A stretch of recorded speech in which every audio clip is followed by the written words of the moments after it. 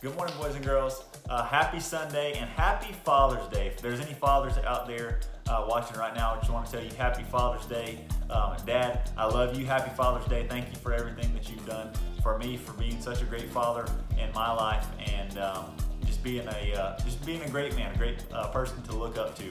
Boys and girls, I hope you had or have a uh, a great father or father figure in your life that you look up to, that you uh, that's a leader in your household and and a leader in, in your life. Um, you know, our fathers have a lot on their plates. They, they wear a lot of different hats. You hear people say that in your life. That means they have a lot of different roles or, or they're involved in a lot. They're a dad, that'd be one hat. They're an employee or an employer, that's another hat. Um, they might be a leader in the church. They might be the coach of your softball team or your soccer team or, or whatever it is. You get the point. They do a lot of stuff. They're involved in a lot of different things. And one of their biggest priorities, or probably their biggest priority, is being a father to you. Okay, so um, they've got a lot on their plates, and it is our job to honor them, especially on Father's Day. You know, uh, I hope that you've uh, gotten to uh, get them a gift, a thoughtful gift, or at least spend some time with them doing something that they love to do, whether that be um, fishing or golfing or maybe just going out for a, a, car ride somewhere or whatever it may be, hiking, whatever.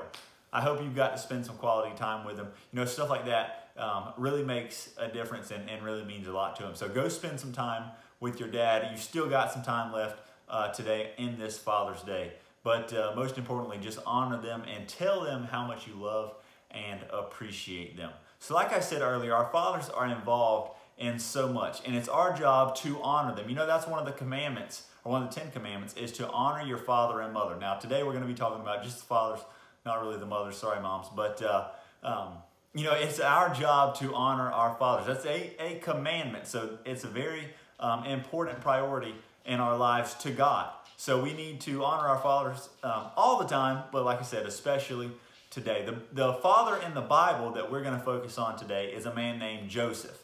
Now, Joseph gets a lot of attention for about two, maybe three weeks out of the year, and that's right at Christmas time. Joseph is Jesus's father.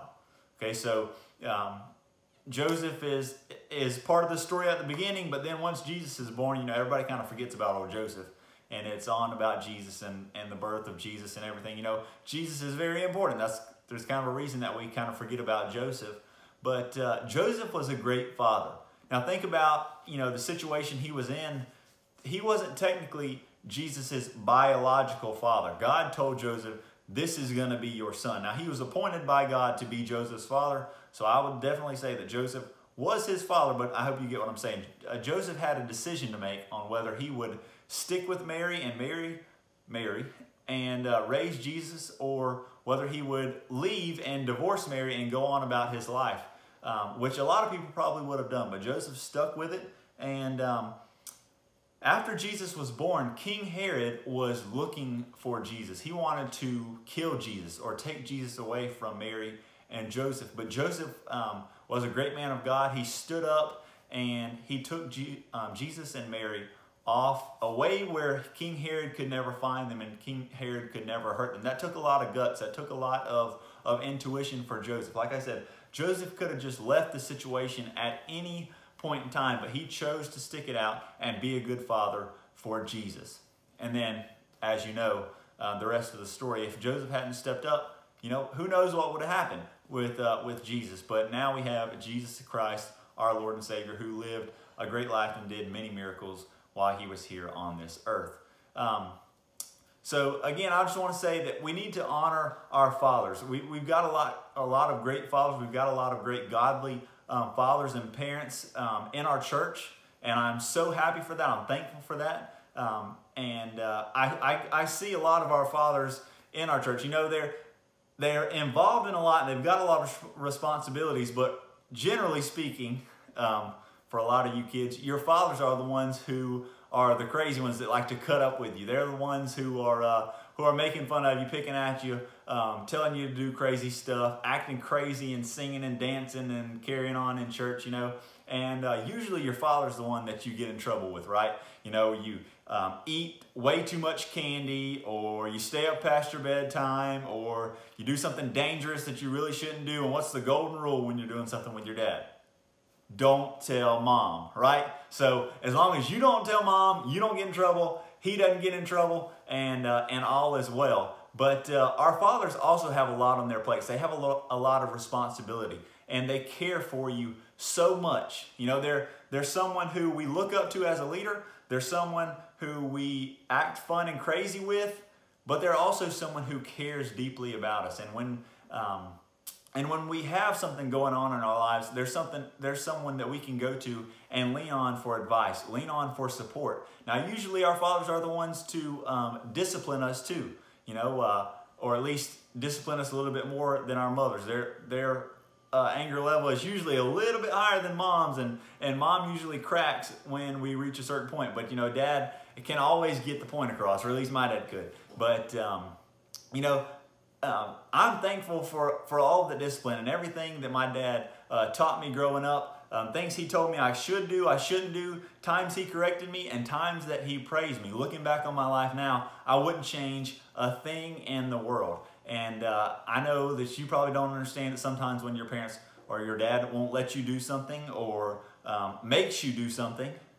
But I promise you, when you get to be older, you'll look back and say, you know what? That man knew what he was talking about. And I'm, I'm happy that he made me do that because it's helped me help make me into the person I am today. So again, just um, spend the day doing something for your father or spend some time with your father and honor your father today. Tell him how much you love him.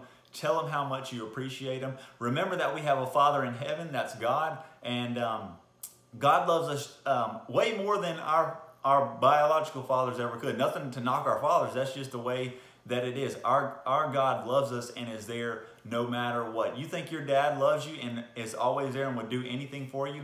Imagine that times a million. That's what our God in heaven is like. You know, we mess up a lot. We do a lot of things that we probably shouldn't be rewarded for, yet God loves us so much that uh, he makes it real easy where all we have to do is believe in his son Jesus Christ. Believe that Jesus Christ uh, lived on the earth that he died on a cross for our sins and then rose three days later from the dead and that, uh, that we have a living God. That's what we have to do. We ask Jesus into our heart and we are saved. So, um, now, boys and girls, we've got some awesome father figures in our lives. We've got an awesome heavenly father that loves us. Um, again, I can't emphasize it enough. Just tell your father today that you love him, that you appreciate him, and try to do something for him today. I love you. I hope to see you soon. Um, we're we're getting back into the swing of things where we're kind of starting to open the church back up. So uh, I'm excited. I'm ready to get back into our normal services with our uh, with our worship songs, with our games, with our object lessons, and all that stuff together back there in the fellowship hall.